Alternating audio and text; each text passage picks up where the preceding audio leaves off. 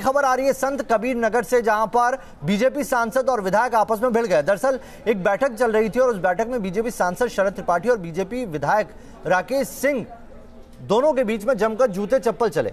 जो जानकारी मिल रही है उसके मुताबिक कलेक्ट्रेट सभागार में ये समिति, जिला योजना समिति की बैठक चल रही थी और वहाँ पर एक शव पट्टिका थी, उस पर नाम नहीं था और उसके बाद दोनों आपस में भिड़ गए।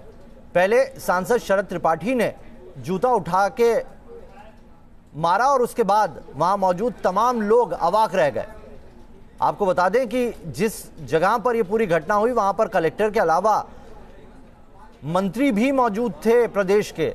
सभी इस घटना के बाद हैरत में रह गए। किस तरीके से लाद घूसे चल रहे हैं दोनों बीजेपी के सांसद और विधायकों के बीच में वाकई चौंकाता है कोई समर्थकों के बीच हाथापाई नहीं, बल्कि सांसद और विधायक के बीच हुई जूतम पैजार है।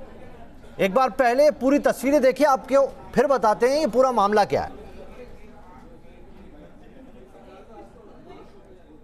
तो संत कबीर नगर में बुधवार की शाम को कलेक्ट्रेट सभागार में जिला योजना समिति की बैठक चल रही थी और इसी दौरान शरद त्रिपाठी जो सांसद हैं और मैदावल विधायक राकेश सिंह बघेल आपस में बुरी तरह से भिड़ गए।